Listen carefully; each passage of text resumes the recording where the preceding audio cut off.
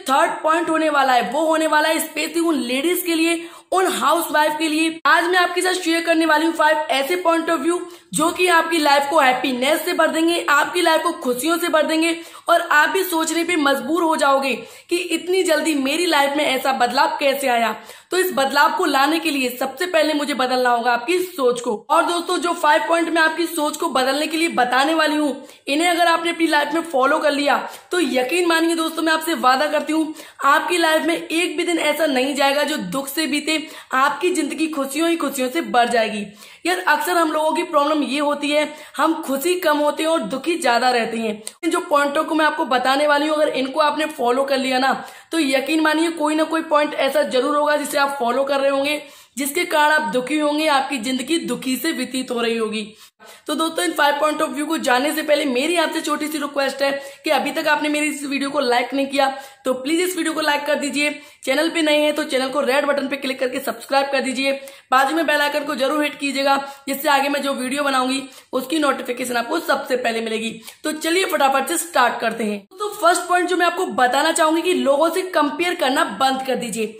अक्सर होता क्या है कि हमारे पास सब कुछ होता है, सब कुछ। किसी भी चीज़ की कमी नहीं होती, घर हमारा पूरा भरा रहता है, लेकिन फिर भी हम उसमें संतुष्ट नहीं होते, खुश नहीं होते, क्योंकि हम हमेशा कंपेयर करते हैं अपने से बड़े वाले से। अगर आप हमेशा अपने से बड़े वाले से कंपेयर करोगे, यार देखो, उसके पास तो बड़ी वाली गाड़ी है, मेरे पास तो छोटी सी स्कूटी है, अरे यार, उनका बच्चा बड़े वाले स्कूल में इंग्लिश मीडियम में पढ़ता है, मेरा बच्चा तो छोटे से स्कूल में पढ़ता है, उसके आदमी की सैलरी एक लाख रुपए है, मेरे आदमी की सैलरी तो ओनली पच्चीस हज़ार रुपए है। तो अगर आप ऐसे हमेशा कंपेयर करते रहोगे तो आप अपनी लाइफ में कभी भी खुश नहीं रह सकते। आपके पास चाहे कितना भी हो, अगर आपके पास बहुत ज़्यादा हो जाएगा तो आप मुकेश अंबानी से कंपेयर करोगे। तो हमेशा अगर आपको कंपेयर करने का बहुत ही ज़्यादा शौक है वैसे तो किसी से भी कंपेयर नहीं करनी चाहिए, लेकिन अगर आप कंपेयर करने का शौक रखते हैं तो हमेशा अपने से छोटे वाले से कंपेयर कीजिए, क्योंकि जब भी आप अपने छोटे वाले को जो है देखोगे तो आपको लगेगा, यार, मेरे पास तो बहुत कुछ है, मेरे पास तो इतना है, मेरे पास तो इतना है। और आप हमेशा खुश रहोगे। अक्सर आपने देखा होगा, जो लोग साइकिल पे जाते हैं, यहाँ पे उनकी टूटी सी स्कूटी होती है, जो धू धू धू धू आवाज़ कर रही होती है, लेकिन उनके चेहरे पे एक मुस्कुराहट होती है खुशी होती है, क्योंकि वो उसी में संतुष्ट होते हैं, उसी में खुश होते हैं। कभी भी अपने से बड़े वाले से कंपेयर नहीं करते। तो उनसे सीखिए कि खुश रहना क्या होता है। तो ये सबसे फ़र्स्ट पॉइंट है कि आपको लोगों से कंपेयर नहीं करनी चाहिए। सेकंड पॉइंट जो हम लोगों के साथ अक्सर होता है कि लोग क्या कहेंगे। अक्सर हम अपने सपनों को इसी चीज़ में जो है जो है दबा देते हैं कि लोग क्या कहेंगे।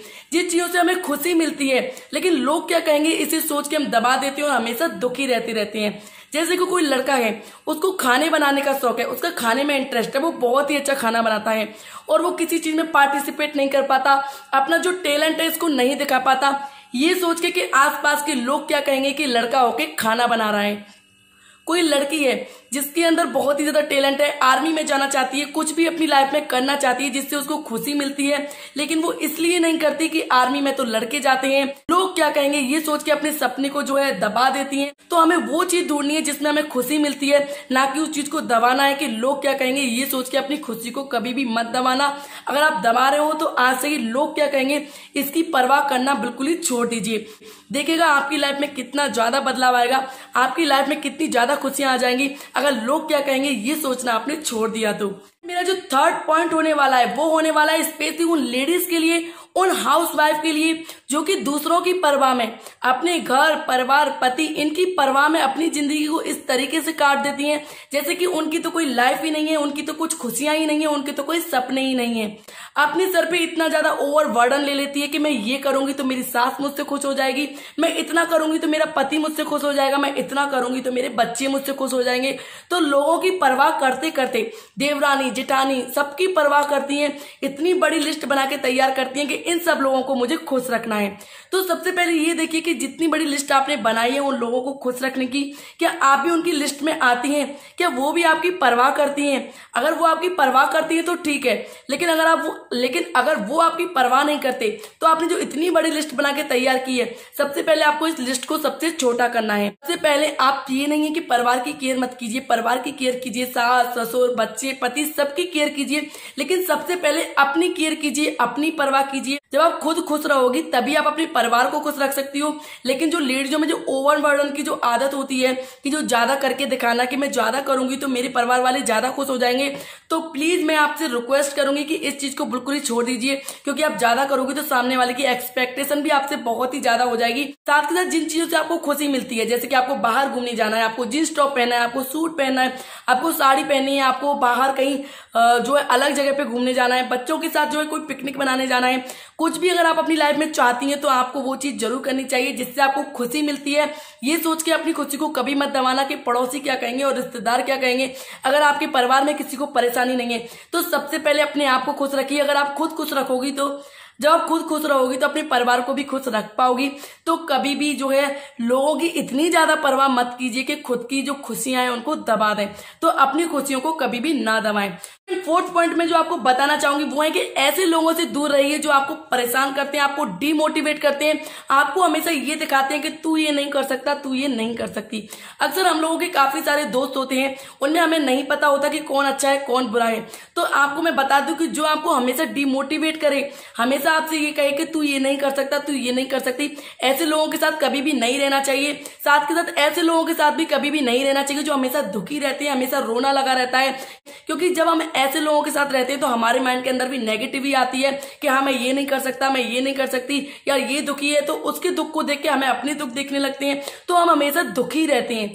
तो ऐसे सच्चे दोस्त बनाइए जो हमेशा खुश मिजाज रहते हो हमेशा खुश रहते हो। दुख होता है उनमें भी, भी खुशियों को जो है खोज लेते हो। हमेशा बिंदास रहते हो आपको हमेशा मोटिवेट करते हो। आप कोई भी चीज़ नहीं भी कर सकते तब भी आपको मोटिवेट करें कि तू ये कर सकता है तू ये कर सकती है। आपको हमेशा खुशियों का एहसास दिलाते हो तो फ्रेंड अगर आपने भी ऐसे खुश मिजाज और सच्चे दोस्तों को अपने पास रख लिया ना, जो हमेशा खुश रहते हैं तो देखिए, आपकी लाइफ में हमेशा खुशियाँ ही खुशियाँ होंगी। तो जब आप उनसे बात करोगे, आपको बहुत ही अच्छा लगेगा और आप सारे दुखों को भूल जाओगे। तो हमेशा खुश मिजाज दोस्त बनाइए, जो हमेशा हँसते रहते हो, मुस्कुराते रहते हो। फ्रेंड अब आता है हमारा फाइव पॉइंट जो कि है सबसे लास्ट पॉइंट दूसरे लोगों की बातों का बुरा मान के कभी भी दुखी ना हो। कुछ लोगों के मन में क्या होता है कि कुछ लोगों को कोई बुरा बोल देता है, कुछ भी गलत बोल देता है तो पूरे दिन जो रई होती है ना जो है दही, जो रायता बनाने वाली, रई को पूरे दिन अपने दिमाग में चलाते रहते हैं, चलाते रहते हैं। उस बात को सोच सोच के इतनी ज़्यादा दुखी होते रहते हैं कि उस दुख से बिल्कुल भी बाहर नहीं निकल आते। बाहर नहीं निकल पाते। सबसे पहले जो लोग अगर आपको बुरा बोल रहे हैं, एक से सुनो, दूसरे से निकाल दो अच्छा बोल रहे हैं, उसे ग्रहण करो और खुश हो जाओ। उससे वादा करो कि जैसे एक छोटा सा बच्चा होता है और जब वो सुबह सुबह उठता है तो मुस्कुराता हुआ उठता है और पूरी शाम हो जाती है, चौबीस घंटे हो जाते हैं, वो पूरे समय उसके चेहरे पे एक मुस्कुराहट रहती है। तो खुद से भी यही वादा करो कि सुबह उठते कि मुझे अपने पूरे दिन खुश रहना है। चाहे कोई कुछ भी कहे, चाहे कुछ भी हो जाए, मैं हमेशा खुश रहूँगा। मैं हमेशा खुश रहूँगी। अगर आपने अपने आप से ये वादा कर लिया तो यकीन मानिए आप कभी भी दुखी नहीं रह सकते। तो दोस्तों, यही पाँच पॉइंट है जिनको आपको अपनी लाइफ में फॉलो करना है। और मैं आशा करती हूँ इन पाँच पॉइंटों को फॉलो करने से आपकी ज़िंदगी में बदलाव ज़रूर आएँगे। तो दोस्तों, यही थी छोटी सी जानकारी जो इस वीडियो के माध्यम से मैं आपको देना चाहती थी। आगे मैं आपके लिए ऐसी और भी अच्छी अच्छी वीडियो जल्दी ही लेके आने वाली हूँ। वीडियो में देखिए जानकारी अच्छी लगी तो प्लीज़ इस वीडियो को लाइक कीजिएगा। चैनल को सब्सक्राइब कीजिएगा। बाजू वाले बेलाइकन को ज़रूर हिट कीजिएगा, जिससे मैं आगे जो वीडियो बनाऊँ, उसकी नोटिफिकेशन आपको सबसे पहले मिल सके। सो बाय टेक केयर